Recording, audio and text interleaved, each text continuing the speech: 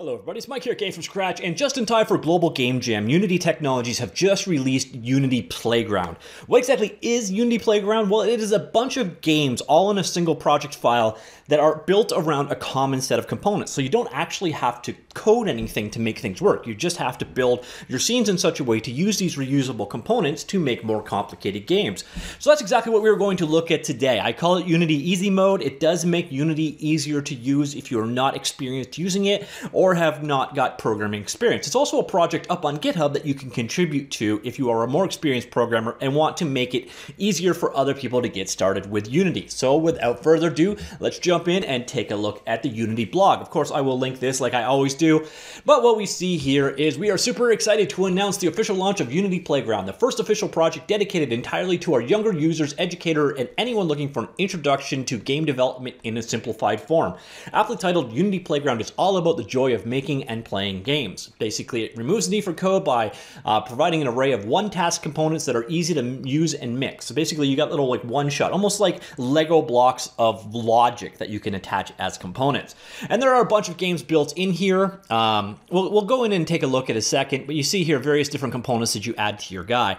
Uh, they built uh, I think it was six different games in here a defender style game, football, maze, lunar lander, an adventure game, uh, and a roguelike. They're all very, very, very simple, but they do illustrate how you can use these components. And then the idea is you can mix in these components to make your own games without, again, having to code this logic.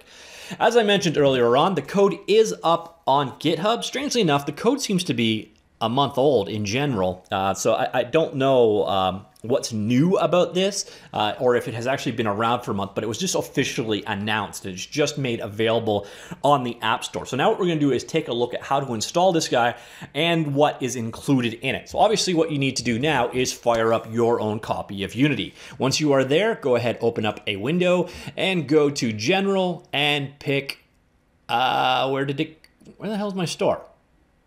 Oh, asset store. Sorry, it moves from version to version. So pick up asset store, let this connect for a second. Dun, da, da, da. Come on up here and type playground. Amazingly enough, there is a lot of stuff called Playground, but what you want is the official Unity one right here. Just grab that guy. Um, I have already installed it or purchased it, it's free, uh, but your user interface might look slightly different because I've already gone ahead and purchased this myself. So once you've got it downloaded, go ahead and import it. Now keep in mind, this is going to overwrite your existing project. So when you first start up Unity, make a new project, say call it Playground or whatever, just assume that the project that you are making is temporarily and going to be overwritten. And then go ahead and do an import. Now the downside is once this finishes importing, you're gonna grab all the files you want and say, yep, go ahead and import it and they're going to probably get a script runtime version. Yeah. So it's going to say, do you want to go ahead and restart? Now, oddly enough, the first time I did this, it actually, um, so it's going to run through, import all of the assets, and then it's going to prompt me to restart again. So I, am not 100% certain why that is, but we'll let it import all the assets. We'll do the restart, and I will do that off camera because there's no sense watching all that. So there it is, second time. So we'll do the restart. Okay, and we are back, we are reloaded, and here we are in Unity. Now, when you've actually got this guy finished and downloaded, you're gonna find, let me just expand this out so you can see everything. Where you're gonna wanna go is into the examples. And then as they mentioned, there are six different projects in here. So the first one is a simple adventure type title. We'll go ahead and load that up. Uh, why are you not in the 2D view? Okay, so here it is. These are all 2D games, so make sure that you're in 2D view. And let's take a quick preview of what this guy looks like. I believe it's WASD key controls and you just kind of run around and try not to get hit. So this is the first example. Now, escape out of that guy. We'll load up the next one. So we've got Defender. We'll load that scene up, and you'll see this is a simple Defender type game where you've got a cannon at the bottom and you're shooting meteors coming in.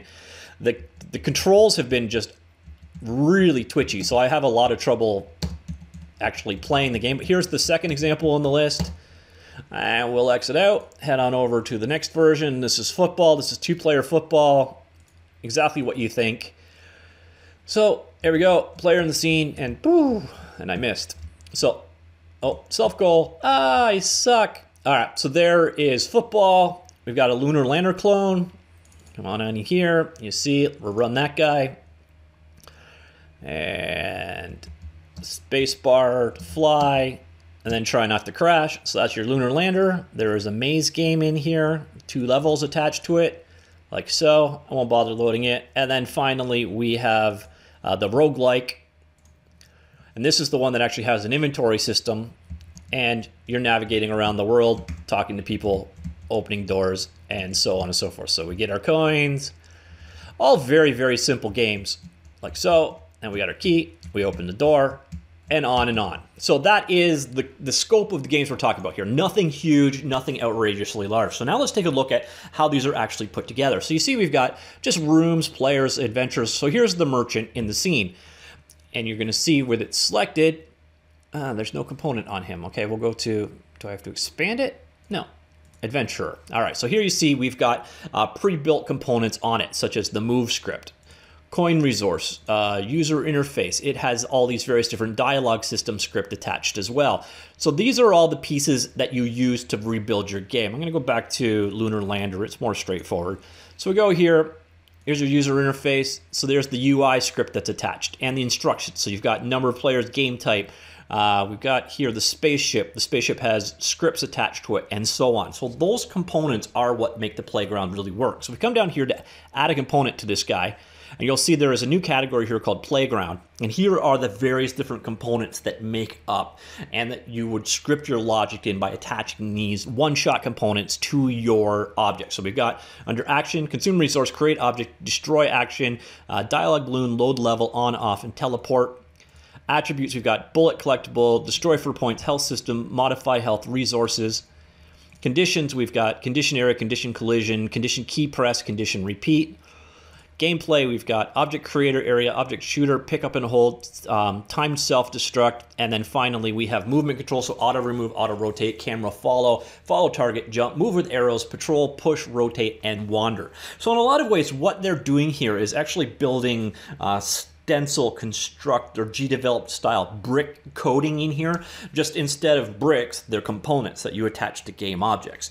Um, this will definitely make making basic 2D games in Unity quite a bit easier for, for beginners. I do understand the value here, and it'll be interesting to see how many people actually take to this project and start contributing new pieces to um, the component to the actual source code itself. So if the community gets behind this and keeps adding more and more of these playground components, it will make more and more functionality that much easier to add for people. And this kind of stuff is really handy for um, game jam type stuff. Now, at the end of the day, though, myself personally, I don't know why I wouldn't just use gdevelop or construct or Stencyl or one of those packages for game jamming. Uh, but if you're ultimately looking to learn um, Unity as your end game, this as a transitional step, this as your beginner entrance level um, layer is, is, there's definitely some value there. And this was kind of aimed more at educators kids or game jam type people. So this is not meant for die-hard unity developers in any way although i imagine you can look at any one of these particular scripts if you so wish and learn from them. So there is a learning exercise here or you can just look at this as you know there is building box code that you can then adapt for whatever type means you've got. Now curious what is the license this is under this is available under the MIT license. So yeah, you can pretty much do whatever the heck you want. All right, so that's it. That is Unity Playground, or as I like to call it, Unity Easy Mode. I let me know what you think of it. Does it make Unity look more interesting to you as a beginner? Do you have are you already a Unity user and this like has any use to you whatsoever, or no interest at all? Also, you're going to be participating in the Global Game Jam. You know, in the era, I really wish that um, game jams came before kids did because they're not really that compatible from my end. So I almost never get to do any game jam, so I won't be.